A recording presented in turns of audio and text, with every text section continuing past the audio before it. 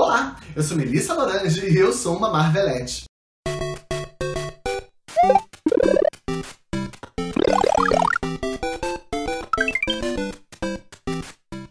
Recentemente eu decidi que um vídeo só por semana não era o suficiente, eu não estava sofrendo bastante, então eu pensei cá com os meus botões, por que, que eu não faço uma outra playlist quinzenal? Não é mesmo? Se você está chegando nesse canal por esse vídeo, existe outra playlist, tá? Que é a playlist tragédia, outro tema. Você vai lá também, que eu preciso? De visualizações. E aí eu pensei, cá comigo, já faço vídeo semanal quase toda semana, sai vídeo. E se, e se, e se eu resolvesse fazer mais uma playlist quinzenal falando sobre outro assunto?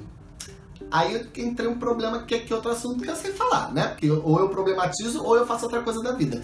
E eu pensei que eu também tenho conhecimentos e gosto por mundo nerd. Então pensei, como é que eu posso unir essa busca eterna em problematizar as coisas, né? Do ponto de vista de uma drag queen, um homem gay que se veste de figuras femininas, para o mundo nerd. E aí a gente surgiu uma nova playlist que é Nerd in Drag, que se tudo der certo tem D e D aqui, bem RPGista, porque é disso que eu gosto, das coisas muito antigas, na época que a gente não tinha videogame, tinha que jogar dado na mesa. E para começar, vamos fazer um apanhado sobre como está a questão da diversidade na Marvel. Eu sou uma grande fã da Marvel eu sou uma menina da Marvel, eu sou uma Marvelette, eu gosto muito da Marvel, tá? Não quer dizer que eu não gosto da DC, eu só desprezo. Mentira! Eu gosto muito de algumas coisas da DC, por exemplo, uh, o universo místico da DC é ótimo, mas isso não importa.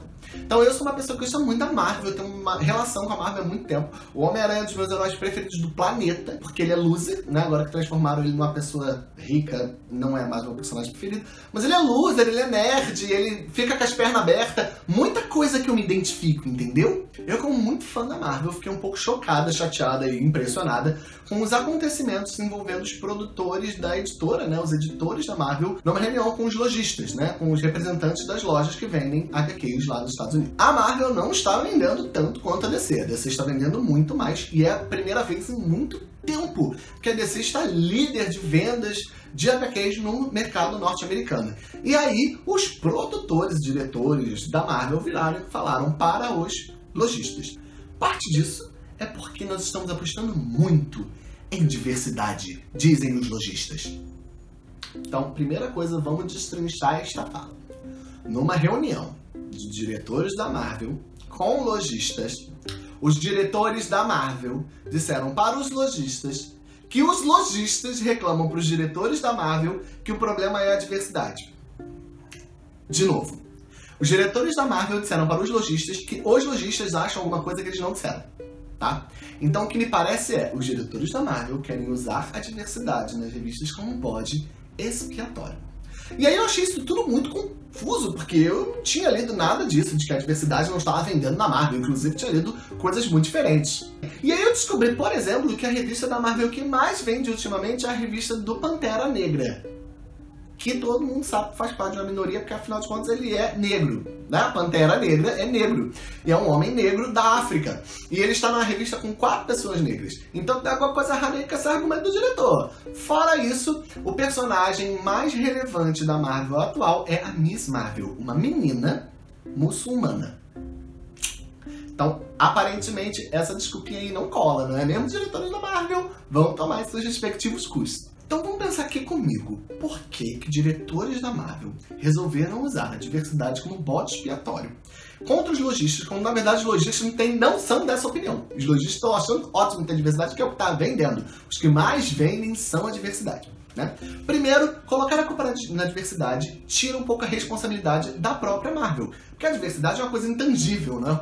É um construto social. Ah, a diversidade é culpada. É como quem diz, tipo, ah, os marcianos estão roubando vacas. É uma coisa que eu não consigo pegar, entendeu? Não é palpável. E o que essa acusação da diversidade está escondendo? Está escondendo a descaracterização dos personagens da Marvel, não é? O Homem-Aranha não é mais um loser, ele é um empresário.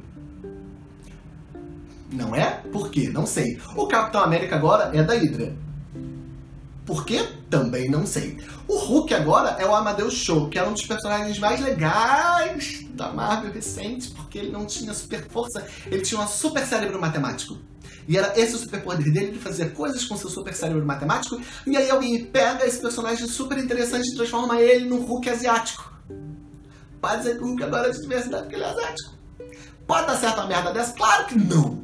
Não pode dar certo, porque eu descaracterizo um personagem super interessante porque, ai não, asiáticos bons em matemática são estereótipos. Ok, tudo bem, isso é um estereótipo, eu não vou negar. Porém, é um estereótipo de um personagem muito mais interessante do que um Hulk. Então eu pego esses personagens que têm uma identidade muito marcada, eu desfaço essa identidade, crio figuras parecidas com eles da diversidade, um Homem-Aranha negro, uma Capitã América, né? um Homem de Ferro mulher maravilhosa, que é a Iron Heart, maravilhosa, maravilhosa, Riri Williams, te amo, S2. Eu pego esses personagens e descaracterizo, né? Eu pego os antigos, sumo com eles, tá? Se eles virarem qualquer coisa, e pego, faço versões novas deles da diversidade e eu coloco a culpa na diversidade, quando na verdade a culpa é que você está descaracterizando os personagens. Por que, que eu preciso criar um Hulk asiático? Por que, que eu não posso continuar com o Hulk e fazer outro personagem que por um acaso é asiático, né? Que das várias coisas que ele faz da vida, uma delas é ser de família asiática. Que é aí que está a vitória da Miss Marvel sobre todas as outras tentativas de fazer um personagem de diversidade na Marvel. Ela, por um acaso, é muçulmana. E isso atravessa a vida dela tanto quanto se ela não fosse muçulmana. Ela não é interessante porque ela é uma heroína muçulmana. Ela é interessante porque ela é uma heroína jovem, mulher e muçulmana. São várias coisinhas, sabe? Ela não derrota o inimigo e para e vai rezar pra Meca. Não é isso que a gente quer. A gente quer que as pessoas da diversidade tenham suas particularidades representadas, mas continuem sendo super-heróis. Como todos os outros super-heróis foram. O mais interessante é que a Miss Marvel é uma personagem com uma família inteira pai, mãe, irmão, todo mundo se ama, né? Quantos super-heróis tem família que você conhece? Sempre tem um trauma, né? O tio morreu, a pessoa ficou congelada no gelo, ela tá com a doença terminal, umas coisas assim muito doidas. Poucos são os personagens que, tipo, estão aí de boa com a vida, sabe? Não estão deprimidos, eles só estão enfrentando o mundo. Porque o mundo já é muito cruel sem você precisar passar por traumas. Não precisa passar por traumas para ver como o mundo tá uma merda. Você pode ser um super-herói só observando como é que a situação tá podre. Então, resumindo, a Marvel pega e coloca a culpa da baixa de vendas na diversidade para os lojistas, quando os próprios lojistas não acham isso. E vira notícia, não é mesmo? Até eles têm que se retratar depois. Tudo isso num momento político muito curioso, onde o Trump é presidente dos Estados Unidos. Então, eu acho inocente a gente pensar que essas acusações contra a diversidade são gratuitas. Na verdade, isso parece para mim, que sou muito paranoica, não é mesmo? Sofrei de uns probleminhas de paranoia. Parece para mim completamente plausível que eles estão tentando recuperar os fãs mais conservadores a partir do momento que a gente observa que Trump é presidente dos Estados Unidos, que ele se elegeu com um discurso conservador. Se ele se elegeu com um discurso conservador, quer dizer que pessoas conservadoras existem em grande quantidade, vão comprar revista. Se elas se identificarem com seus pensamentos conservadores em relação àquela editora. A gente tem que ficar de olhinho aberto, não se deixar enganar por essas falácias que as empresas podem fazer e continuar apostando sim que a diversidade é a nova sensação do mundo pop, porque afinal de contas nós estamos aqui. Então, como diz a Pete, bicha nenhuma vai voltar para o armário, preto nenhum vai voltar para a senzala, mulher nenhuma vai voltar para a cozinha. Acostume-se com isso e compre revistas.